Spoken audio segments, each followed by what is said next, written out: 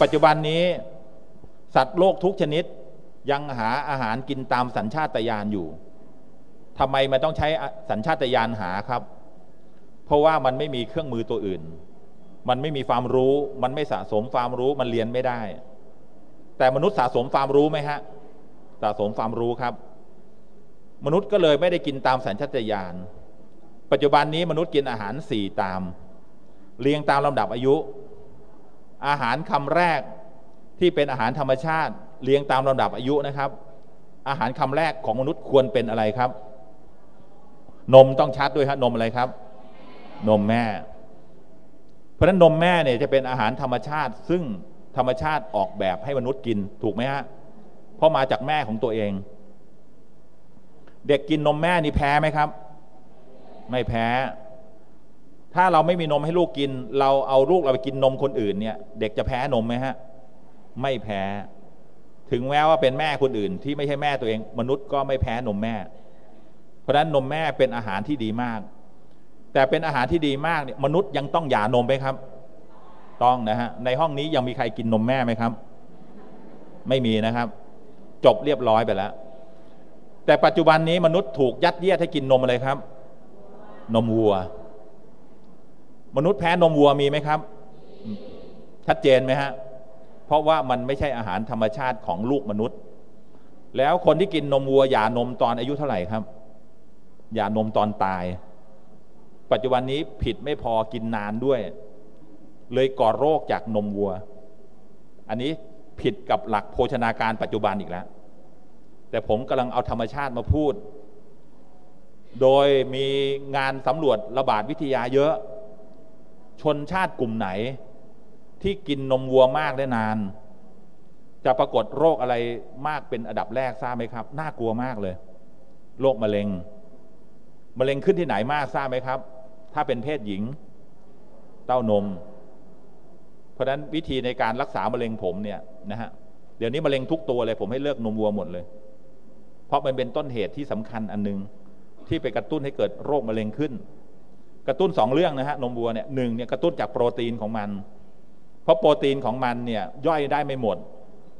นำย่อยมนุษย์ไม่สามารถย่อยโปรตีนนมวัวได้หมด แต่ย่อยโปรตีนนมแม่ให้หมด เพราะนั้นเราจึงไม่แพ้นมแม่ โปรตีนเนี่ยเป็นต้นเหตุของภูมิแพ้ และโปรตีนเป็นต้นเหตุของมะเร็ง ซึ่งถ้าเป็นโปรตีนผิดชนิดเนี่ยมันไปกระตุ้นการก่อมะเร็งได้ แล้วข้อสำคัญยิ่งเป็นโปรตีนเน่าเสียเพราะมันย่อยไม่หมดเนี่ยยิ่งก่อมะเร็งใหญ่เลย แล้วก็ก่อโรคเรื่องไขมันผิดปกติ ก่อความผิดปกติในร่างกายเราได้หมดเลย ผู้ชายอย่าเพิ่งดีใจนะฮะถ้ากินนมวัวมากแล้วนานนี้เป็นมะเร็งที่ไหนทราบไหมครับ ต่อมลูกหมากแล้วก็ลำไส้ใหญ่ เดี๋ยวนี้เพิ่มขึ้นเยอะไหมครับมะเร็งต่อมลูกหมาก เยอะมากลำไส้ใหญ่เยอะไหมครับ เยอะ ส่วนการกินผิดสารพัดชนิดเนี่ยเป็นมะเร็งที่ไหนมากทราบไหมครับ ที่ตับ วันนี้เนี่ยนอกจากจะ รักษาโรค NCD แล้วเนี่ยยังป้องกันและรักษาโรคมะเร็งด้วย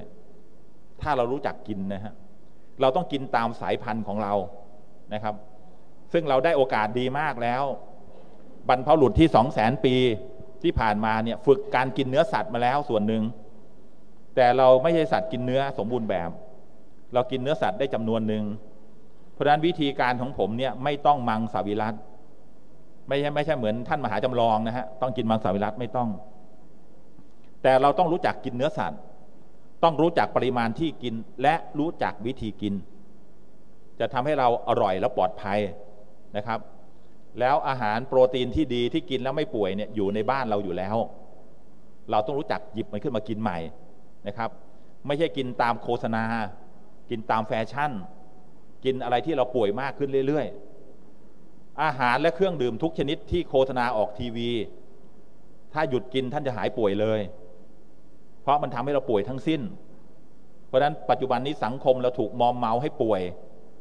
ป่วยทั้งจิตใจ ป่วยทั้งความคิด ป่วยทั้งเรื่องอาหารการกินหมดเลย เพราะว่าการโฆษณาทำให้เราหนีออกจากธรรมชาติขึ้นไปเรื่อยๆ เราไปกินอาหารดัดแปลง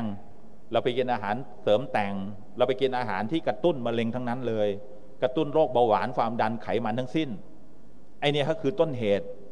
แต่ผมเนี่ยไม่มีปัญญาไปลบลาค่าค่าต่อสู้เขาหรอกครับเพราะงบโฆษณานี่เขามาหาศาลชาวบ้านทุกคนดูทีวีหมดไหมครับ ดูหมดดูทุกคนเลยดูแล้วเชื่อไหมฮะดูแล้วเชื่อด้วย เพราะฉะนั้นการจะเปลี่ยนแปลงความเชื่อเนี่ย มันต้องเอาความจริงเข้าสู้ แต่นี้ไอ้ความจริงของผมเนี่ยมันทำยาก เพราะต้องอาศัยเครื่องมือแพทย์ตรวจ ต้องอาศัยศรัทธาที่จะเปลี่ยนที่ท่านจะทำไม่งั้นมันสู้กันไม่ไหวนะครับ กำลังชี้ให้เห็นนะฮะการเปลี่ยนถ่ายอารยธรรมของมนุษย์เนี่ยทำให้เกิดโรคขึ้นมา จึงไม่แปลกประเทศยิ่งเจริญนะฮะยิ่งเป็นโรคพวกนี้เยอะ ประเทศที่เจริญน้อยอยู่กับธรรมชาติมากเลยไม่ค่อยป่วย เป็นโรค NCD ประเทศยิ่งเจริญยิ่งป่วยเป็น NCD เพราะยิ่งเครียด ยิ่งเจริญยิ่งเครียด ยิ่งเจริญยิ่งกินผิด ยิ่งเจริญยิ่งกินอาหารโฆษณาเยอะ เป็นเหตุตรงไปตรงมานะฮะครับกลับมาใหม่นะครับ เริ่มตามแรกใหม่ ตามแรกอาหารคำแรกก็เริ่มผิดแล้ว แล้วนับวันมีแต่คนจะกินนมวัวมากขึ้นไหมครับ มากขึ้น เพราะอะไรครับ แม่ต้องออกไปทำงาน รัฐบาลก็ส่งเสริม นมโรงเรียนเน่าๆบูดๆก็ยังแจกต่อ เพราะอะไรครับ มันเป็นความเชื่อและผลประโยชน์ อันดับแรกนี่ผมต้องลบความเชื่อก่อน ส่วนผลประโยชน์เดี๋ยวเรามาจัดการแบ่งเข้าในครัวเรือนเราเลย นะเราไม่ต้องใช้นมวัวครับ เราสามารถมีอาหารดีให้โปรตีนดีกว่านมวัว แล้วกินทุกวันแล้วฉลาดขึ้นด้วย เป็นการทดแทนนมวัว แล้วสร้างได้เองที่บ้านเราเลย ไม่ต้องตกเป็นลูกค้า บางทีแจกนมวัวนะฮะไม่ได้มาจากประเทศไทย เราไปซื้อนมผงต่างประเทศมาละลายน้ำให้เด็กบ้านเรากินนะครับ ไม่มีความจำเป็น แล้วเป็นอาหารก่อโรคระยะยาวด้วย ก่อภูมิแพ้ด้วย ก่อโรคแพ้ภูมิตัวเองด้วย รู้จักโรคแพ้ภูมิตัวเองไหมครับ โรคอะไรฮะโรคภูมิพวงใช่ไหมรูมาตอยใช่แพ้ภูมิตัวเองไหมใช่โรคสะเก็ดเงิน แม้กระทั่งโรคเบาหวาน เดี๋ยวนี้มีเบาหวานแบบแพ้ภูมิด้วยเขาเรียกเบาหวานชนิดที่หนึ่งเกิดมาเด็กๆ เป็นเบาหวานแล้วต้องฉีดยาแล้วภูมิคุ้มกันทำร้ายตัวเอง อายุน้อยๆเลยไตพังแล้วฮะเพราะภูมิคุ้มกันทำร้ายไตตัวเอง เดี๋ยวนี้โรคเพี้ยนเพี้ยนเนี่ยเกิดขึ้นมากมายเลยจากการกินเพี้ยน กินเพี้ยนตั้งแต่เริ่มต้นเกิดเลยนะครับ เวลาเราเรากินอาหารแรกเริ่มเนี่ยเราก็เริ่มจากในครัวเรือน ใครเป็นคนสร้างนิสัยการกินอันดับแรกครับ พ่อแม่ พ่อแม่กินอะไรลูกก็กินแบบนั้น จนปัจจุบันเนี่ยเราเข้าใจว่าโรคบางชนิดเป็นโรคประจำตระกูล เช่นโรคอะไรบ้างครับเบาหวาน เดี๋ยวนี้คนบอกว่าเบาหวานเนี่ยเป็นกรรมพันธุ์เป็นเป็นโรคประจำตระกูลมะเร็งนี่มีโอกาสเป็นไหมฮะเป็น ดี๋ยวนี้บางครอบครัวตายด้วยมะเร็งหมดเลยนะฮะพ่อแม่ปู่ย่าตายาย พี่ป้าน้าอาตายด้วยมะเร็งหมดเลย คนก็เลยเข้าใจผิดว่าเป็นโรคประจำตระกูล และสืบทอดมรดกได้ ผมเองเออให้คำปรึกษาอยู่ที่อยุธยา ก็จะมีน้องๆทันสมัย ส่วนใหญ่เป็นคนมีความรู้ดีครับ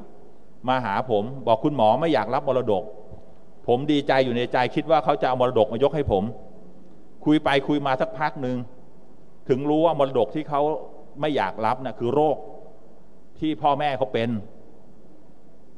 คือพ่อแม่เสียชีวิตด้วยมะเร็ง พี่สาวเป็นแล้วฮะน้องชายวิ่งมาหาผมแล้ว คุณหมอไม่อยากรับมรดกเลย มรดกมะเร็ง ไม่รับก็ได้ครับ ถ้าเรามีวิธีปฏิบัติ เพราะจริง ๆ เนี่ยไม่ว่าจะเป็นเบาหวาน หรือตัวมะเร็งนะฮะสาเหตุหลักเนี่ย มันไม่ใช่การสืบสายเลือด สาเหตุหลักคือการสืบอะไรทราบไหมครับ คือการสืบสันดาน จริงๆแล้วเนี่ยสันดานเนี่ยแรงกว่าสายเลือดถึงแม้เราจะมียีนอ่อนแอต่อการเป็นเบาหวาน ยีนอ่อนแอต่อการเป็นมะเร็งง่าย ถ้าเราไม่ไปกระตุ้นให้มันเป็นเนี่ยมันไม่เป็น ยืนยันเนี่ยมันไม่เป็น เราไปกระตุ้นให้มันเป็นมันจึงเป็น เพราะฉะนั้นต่อไปนี้เราต้องเลิกกระตุ้น พอเลิกกระตุ้นมันก็ไม่เป็น เพราะฉะนั้นมรดกไม่ต้องรับนะฮะ แล้วแถมยังไปเอาโรคนี้คืนจากพ่อแม่เราได้ด้วย หลายคนปฏิบัติถูกต้องนะ พ่อแม่หายด้วย แสดงว่ามรดกของตระกูลนี้หายหมดเลย เป็นเบาหวานนี่หายยกตระกูลเลยนะครับ สามารถทำได้ถ้าเรื่องพวกนี้มันต้องปลูกฝังความคิดใหม่นะครับ ไม่ใช่ตะพืชตะพือนะฮะ เป็นเบาหวานคุณกินยาตลอดชีวิต คุณไม่มีโอกาสหาย คุณต้องมารับยา เป็นความดันกินยาตลอดชีวิต ถ้าปลูกฝังอย่างนี้ไปในคนทั้งสังคมเนี่ย มันเป็นสังคมเจ็บป่วยหมดเลย เป็นสังคมงอมืองอเท้าหมด เป็นสังคมที่ไม่ดิ้นรนต่อสู้ไปสู่สิ่งที่ดีกว่า เพราะฉะนั้นเราต้องมาต่อสู้ขึ้นสู่สิ่งที่ดีกว่า มันก็ต้องแลกมานะด้วยการเปลี่ยนตัวเองและความรู้ มีอยู่สี่ตามนะฮะนี่เพิ่งตามแรกเกิดมาปุ๊บถูกสอนให้กินแล้ว ก็คือกินตามพ่อตามแม่ ในอดีตเรากินตามสัญชาตญาณชีวิตรุ่นใหม่ ข้อแรกเรากินตามพ่อตามแม่ พออายุสามสี่ขวบกินอาหารตามอะไรอีกทราบไหมครับ ตามอำเภออำเภออะไรครับอำเภอใจ ปัจจุบันนี้ยังกินอยู่ไหมครับ กินขอบคุณครับที่ยอมรับตัวเอง ถ้าไม่ยอมรับมันจะคุยกันยาก อร่อยไหมครับ อาหารอำเภอนี้อร่อยมาก กินบ่อยไหมครับ บ่อยมาก เดี๋ยวผมจะแยกอำเภอนะฮะเป็นอำเภอสีดำกับอำเภอสีเทาแล้วก็สีขาว หลายคนสังกัดอำเภอสีขาวเยอะอยู่แล้วทำต่ออำเภอสีเทาแวะได้บ้างอำเภอสีดำหันหลังให้มันเลยนะครับ เดี๋ยวจะแยกเกรดอำเภอให้ว่าอำเภอไหนนะขาวเทาดำถ้ากินอาหารในอำเภอสีขาว เราก็จะไม่ใช่ผู้ป่วยสารพัดสี เราจะกลับมาอยู่สีขาวได้นะครับสามสี่ขวบไปแล้วเจ็ดแปดขวบกินอาหารตามอะไรอีกครับ ตามโฆษณาเยอะไหมครับ เดี๋ยวนี้พอโฆษณาออกทีวีปุ๊บ เด็กเจ็ดแปดขวบสามารถหากินเองได้ไหมครับ ได้เซเว่นใกล้ไหมครับ มิช้ามินานมันจะกลายเป็นอาหารประจำตระกูลอีกแล้ว มันก็จะเข้ามาอยู่ในบ้านเรา อันนี้ลูกเต้าเราเป็นคนนำพาเข้ามา หรือไม่ทั้งตัวเราเองอำเภอบางละกรรมนี่ใกล้พิษโลกมากเลยห้างเยอะไหมครับ เข้าไปทั้งห้างนี่อาหารเจ็บป่วยหมดเลยครับเสาร์อาทิตย์เราก็พาไปพักผ่อนเพื่อหาอาหารเจ็บป่วยกินกัน ในครอบครัว สร้างพฤติกรรมการกินอย่างนี้อีกแล้วผมอันนี้กระทบกระเทือนห้างหมดเลยนะ ทีวีหมดเลย อย่าหดหูนะฮะอย่าห่อเหี่ยว เราจะมีสิ่งดีๆ ในชีวิตเกิดขึ้นเยอะแยะเลยครับ ถ้าเราเปลี่ยนกิจกรรมในครัวเรือนใหม่นะครับ พอจบแล้วทำงานแล้วกินอาหารตามอะไรอีกครับ ตามสะดวก เคยใช้บริการไหมตามสะดวก เดี๋ยวนี้ร้านข้าวแกงเยอะแยะไปหมด เราไม่มีโอกาสหุงอาหาอาหารกินเอง เช้าต้องรีบมาทำงาน เที่ยงฝากท้องไว้ที่ร้านอาหาร เดี๋ยวนี้ร้านอาหารก็เป็นร้านอาหารเจ็บป่วยเช่นเดียวกัน เพราะว่ากินเหมือนเหมือนกัน ต่อไปเราคงต้องหาโอกาสนะครับ สร้างอาหารกินเองให้สะดวกและรวดเร็ว เช้าเช้ากินฟาสต์ฟู้ดที่บ้านครับบ่ายๆกินอาหารถุงเที่ยวเที่ยงกินอาหารถุงที่เอามาจากบ้าน เย็นนะฮะกับ ไปแล้วไม่ต้องกิน ดีที่สุดเลยนะ ไม่ต้องกินผมบอกให้กินอาหารเหมือนพระเนี่ยนะฮะไม่ต้องถึงขั้นพระธุดงนะฮะพระธุดงนี่ฉันอาหารกี่มื้อครับ มื้อเดียวไม่ต้องถึงขั้นนั้น เอาแค่พระบ้านก็พอ ท่านจะไม่ป่วย แต่ปัจจุบันนี้พระบ้านป่วยเยอะไหมครับ เยอะเพราะอะไรทราบไหมครับ อาหารที่เราประเคนใส่ท่านน่ะคืออาหารป่วย แต่ถ้าเราประเคนอาหารที่ทำให้ท่านไม่ป่วย และท่านฉันสองมื้ออยู่แล้วนะ ท่านจะไม่ป่วยเลย เพราะฉะนั้นถ้าเราทำตัวแบบพระนะฮะเราจะไม่ป่วย ในแง่ของมื้ออาหารมีอีกนะครับ แต่เราเนี่ยยึดติดมากเลยครับเรามีคำสอนเลยใช่ไหมครับ คนเราต้องกินอาหารวันละกี่มื้อครับ สุขศึกษามาเลยสามมื้อนะครับ ถ้ากินอาหารไม่ตรงมื้อจะเกิดโรคอะไรขึ้นครับ โรคกระเพาะทำไมกินอาหารไม่ตรงมื้อจึงเกิดโรคกระเพาะครับกดออกมากัดกระเพาะ ถูกไหมข้อที่จริงนะครับ ข้อแรกพิสูจน์ได้ด้วยเครื่องมือ ถึงเวลามื้ออาหารเอากล้องส่องไปเดี๋ยวนี้มีกล้องส่องนะส่องทั้งปากเนี่ยไปดูที่กระเพาะ เวลาเที่ยงเวลาเย็นไม่มีกดโผล่หัวมาเลย เพราะฉะนั้นกรดไม่ต้องออกไม่ได้ออกตามเวลาอาหาร กรดในกระเพาะจะออกเมื่อไหร่ทราบไหมครับ เมื่อมีอาหารตกถึงท้อง ร่างกายถึงจะหลั่งกรดออกมาย่อยอาหาร แล้วถ้าเรากินอาหารพืชผัก มันจะหลังกรดไหมฮะ ไม่หลัง เพราะพืชผักเนี่ยย่อยในสภาวะพิษเบนด่าง กรดจะหลังก็ต่อเมื่อเรากินเนื้อสัตว์เข้าไป เพราะฉะนั้นถ้าเราไม่กินเนื้อสัตว์เนี่ยเราจะไม่เป็นโรคกระเพาะ เพราะกรดมันจะไม่หลั่งออกมานะครับ อันนี้คือหลักแท้ๆธรรมชาติเลย แต่เราถูกปลูกฝังนะฮะยังไงก็ต้องกินสามมื้อให้ได้ เพราะถ้ากินอาหารไม่ครบมื้อ จะเกิดโรคกระเพาะขึ้น เราไม่กินเราก็วิตกกังวล ปัจจุบันนี้คนไทยเป็นโรคขาดอาหารหรือโรคอาหารเกินครับ อาหารเกิน ในห้องนี้มีใครอยากลดน้ำหนักบ้างไหมครับ ยกมือหน่อยครับครึ่งห้องทางนู้นไม่โอ้ครึ่งห้องเลยฮะเราเป็นโรคอาหารเกิน สิ่งแรกที่เราเกินคืออะไรทราบไหมครับ มื้ออาหารทำไมเราเกินครับ เพราะว่า มันมีความเชื่อ ความเชื่อถึงขั้นเกิดอุปทานได้ เข้าใจคาว่าอุปทานไหมฮะ มันฝังอยู่ในจิต แล้วอาการมันเป็นตามเลย เช่น เราทำงานเพลินๆน่ะไม่ได้ออกกำลังเลยฮะ ร่างกายไม่ใช้พลังงานเลยเนี่ย มันแทบไม่ต้องการอาหารที่ให้พลังงานเลย เราทำงานถึงบ่ายสามเนี่ยไม่หิว พอแงนหน้าดูนาฬิกาข้างขวาบ่ายสามนี่หิวไหมครับ หิว นอกจากหิวแล้วอะไรด้วยครับ ปวดท้องด้วย